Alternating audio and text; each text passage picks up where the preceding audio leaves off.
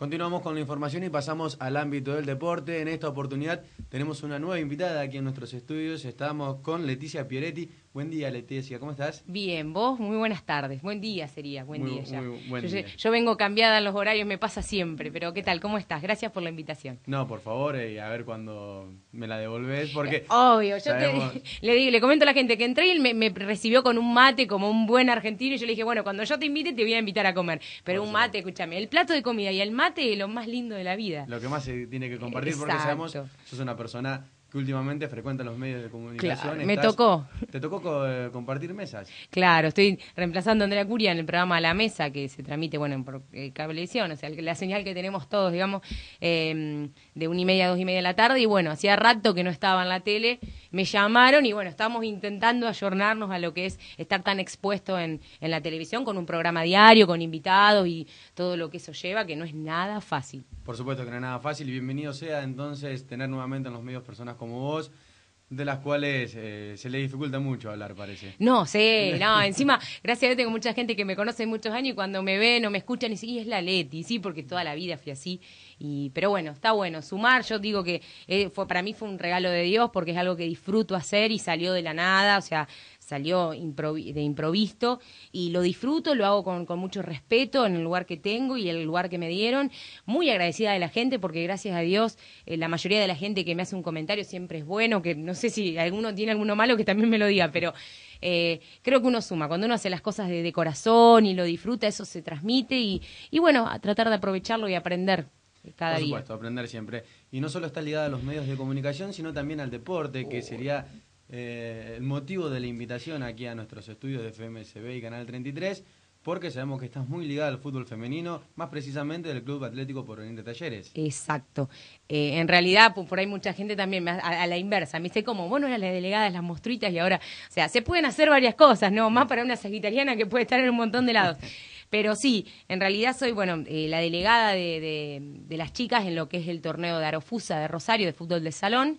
Eh, me toca ser hace dos años la delegada de la selección femenina de Arofusa en representación de, yo te comentaba vos, de, de Santa Fe, de Rosario, porque es la que aglutina, digamos, más profesionalmente a las jugadoras de fútbol de salón. Y, y sí, de, de la comisión, en realidad la presidenta es Carolina Bianco, eh, está también Lorena Ledesma, la Colo, y, y también está, bueno, Nadia Chiariotti, que ya son partes de la comisión, digamos, de fútbol femenino en talleres, eh, por una han ocupado ese puesto y son las que se ocupan de eso. Yo hago más la parte de delegada de, del torneo, digamos. Pero estamos todas ahí siempre sumando a lo que es el fútbol Colaborando femenino. entre todas. Contanos sí. un poquitito cómo viene la, la actividad de lo que son las monstruitas. Están teniendo participación en el certamen. Eh, sí, esta es la, la segunda parte del torneo, son dos. Eh, en este momento las monstruitas están primeras en la tabla, las monstruas hasta la circular que me llegó hoy están séptimas, con muy pocos puntos de diferencia. Eh, y se, va desarrollando como siempre, que, o sea, jugamos los sábados y domingos en Rosario, hemos logrado muchas localías.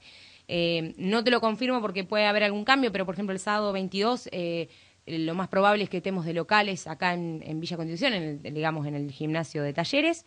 Y sí, todos los días viajando, el esfuerzo que eso lleva y día a día tratando de sumar. De hecho, las monstruas, eh, que son el segundo equipo que se arma, digamos, eh, empezaron estando en una categoría B el año pasado y este año ascendieron a primera. Que estuvimos- tienen dos equipos en primera. Claro, tuvimos la final en. Soy mala con las fechas, pero será Sí, junio, julio, tiempo, hace sí. poquito tiempo, que la tuvimos acá, la final, y asumieron a primera en un certamen donde había cinco equipos. Y la verdad que con eso chocha, porque las muestras que empezaron, viste, como diciendo, vamos a empezar a divertirnos, a ver cómo es, hoy están en primera y con todo el esfuerzo, bueno, la Colo Ledesma, la Lorena Ledesma es la capitana, bueno, eh, hay un montón, me voy a olvidar de nombrar muchos, pero de, de todas ellas eh, tienen un gran mérito que es haber quedado en primera y hoy tenemos dos equipos en la primera de Arfusa. Dos equipos en la primera que eh, uno de ellos va a tener actividad este fin de semana, el otro no. Claro, porque en Rosario se va a disputar un nacional de fútbol de salón masculino, entonces por disposiciones de cancha, las monstruas iban a jugar con las PID porque se va a utilizar la cancha que tienen las PID en el Club Talleres de Villadiego, entonces por eso juegan, pero las monstruitas van a jugar la semana que viene en Newell, eh, en el estadio de Newell, eh, el sábado 16 o domingo 16, no recuerdo. Sábado 16. Eh, sábado 16 a las 7 de la tarde, calculo que si no hay algún cambio en el horario, pero este fin de semana sí, juegan las monstruas en Villadiego a las 4 de la tarde.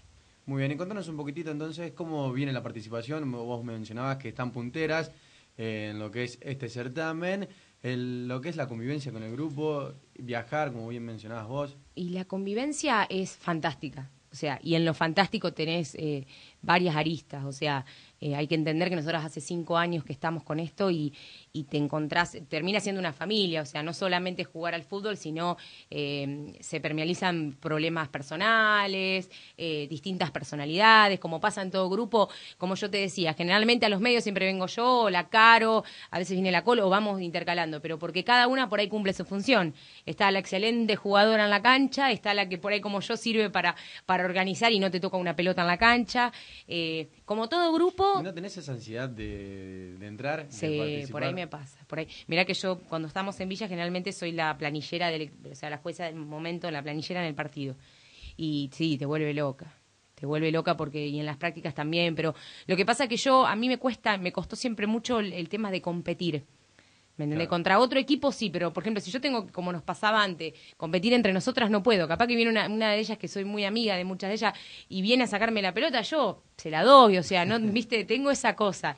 Pero sí, muchas veces, muchas, de hecho, en el torneo anterior que quedamos justo en la semifinal que perdimos contra Provincial por un gol, por un minuto, viste esas cosas que te pasan que íbamos con un partido de... el año pasado el torneo era ir y vuelta. Este año se van a sumar unos puntos, se van a hacer dos zonas donde una zona va a pelear por el descenso y la otra zona va a pelear por el campeonato por el, por el pues sí, por el campeonato, digo bien. Y el año pasado en esa semifinal yo me vuelvo loca, me broto, me salta la vena, no sé para dónde saltar y, y me levanto y camino y las, las, muchas de ellas me conocen y vienen y me agarran como diciendo, no te mueras, ¿viste? Pero sí, es muy difícil. Porque hay que decir que vos tenés antecedentes de lo que es estar dentro de una cancha, fuiste Sí, o sea, antecedentes, es como que me pone la espada de la pared, ¿viste? Es como que me, no tengo cara, pero sí, jugué. En su momento las chicas me van a matar, pero eh, solía ponerme la camiseta número 9 esperando el buen pase de las buenas jugadoras que tenemos, y sí, jugué mucho tiempo. Después por la facultad y, y por los horarios, ¿viste? Llegaba muy cansada y en realidad iba a, tomar un mate, a, distraerme y a bajar un poco de, de lo que es la, la vida vertiginosa de un estudiante que encima trabaja y viaja, digamos. Entonces, yo por eso también me apegué mucho al grupo y creo que muchas de nosotras se apegan por eso, porque muchas de ellas, aparte de, hacer lo que les gusta y divertirse, eh, lo ven como ese, esa hora, esas dos horas que se toman y lo que uno dice, transpira la camiseta, juega, se divierte, se divierte, se, se enoja por una mal jugada o porque no le salió un gol, pero se extrae de la vida, de, de lo cotidiano, que, que para muchas es duro, para otras no. Y, yo también hice lo mismo. En muchas ocasiones era mi, cable a tierra para venir, gritar y pasarla bien, en realidad. Por supuesto, más de una vez es para desahogar, para expresar todo tipo de necesidad, porque algunos, como bien decís, llegan a determinado horario con la cabeza que explota y agarran esos cables de tierra o simplemente compartir el momento nada más. Claro, ni hablar, bueno, ahora lo perdimos un poco en el invierno y por ahí por, va pasando, como pasa con todos los grupos, porque yo creo que en todos los grupos más o menos pasa siempre lo mismo, pero teníamos lo que era el famoso tercer tiempo, donde terminábamos y nos íbamos al carrito a comer una mandíbula o no sé, a cualquier lado y hablábamos y nos reíamos y nos olvidábamos de lo que era, siempre existía la discusión de fíjate esta cómo está jugando, fíjate aquella lo que hace, pero eh, eh, se hizo un círculo de amistad y que como que todas vamos para el mismo lado. Todas se corrigen y todas... Entonces unificamos muchas fuerzas. Y a lo mejor esas críticas, que por supuesto a veces sirven para construir, son ¿cómo son tomadas en el grupo?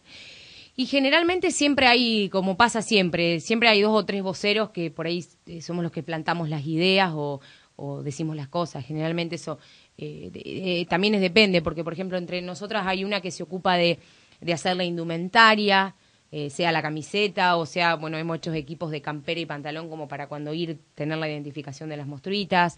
Eh, tenemos hasta, mm, ¿cómo se llama? Botineros con el logo de las mostruitas. Bueno, hay una que se ocupa de eso, entonces va y dice, chica, yo averiguo el precio, ta, ta, ta, ta. Y, pero siempre como lo decimos siempre, eh, es decisión de todas o de la mayoría, porque a veces somos 30 y cuesta que estemos las 30. Pero si las 15 o las 10 que estaban decidieron eso, se respeta, porque si no te volvés loco. Por supuesto. Contanos un poquitito, ¿cómo se manejan con lo que es el tema de, la economía, más precisamente?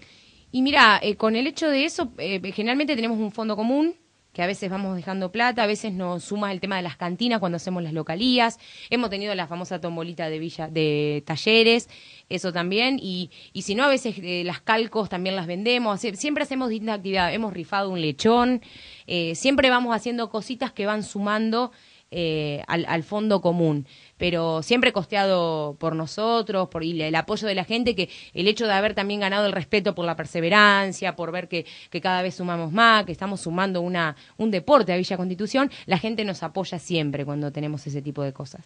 Leticia, la verdad que está más que interesante todo lo que estamos dialogando. Te invito a que vayamos una breve pausa, ¿Cómo tomamos unos mates y dale, ya volvemos, dale. cómo no, dale. Pausa y ya volvemos.